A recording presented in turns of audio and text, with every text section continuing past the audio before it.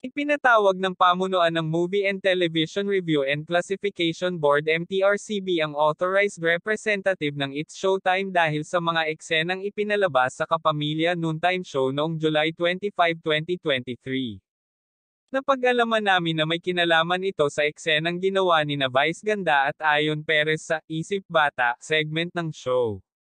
Ang Isip Bata ay game show kung saan may general information questions na kailangang sagutin ng players. Ang sagot sa questions ay hango sa survey mula sa mga bata. May partisipasyon din sa segment na iyon ang resident kiddie mainstays ng It's Showtime.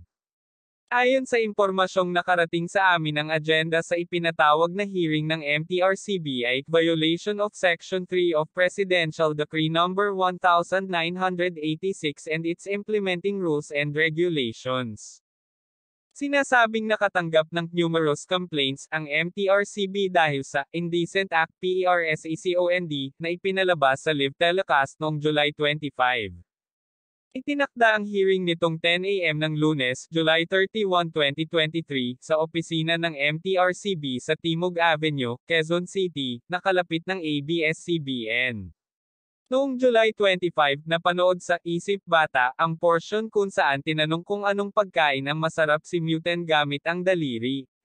Ilan sa choices noon ay tsokolate, chichiria, at cake.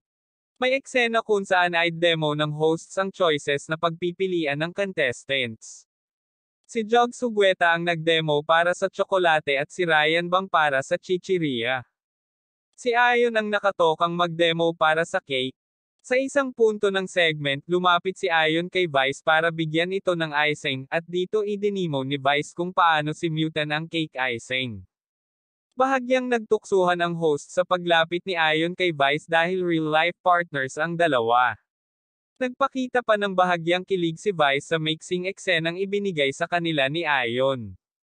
Pero mabilis ding nauwi sa Alaska ng asarin ni Jong Hilario si Vice na Goldilocks dahil sa blonde at curly hair ni Vice noong araw na iyon. Ano ang masasabi mo sa bidyong ito? Mag-comment na at huwag kalimutang mag-subscribe.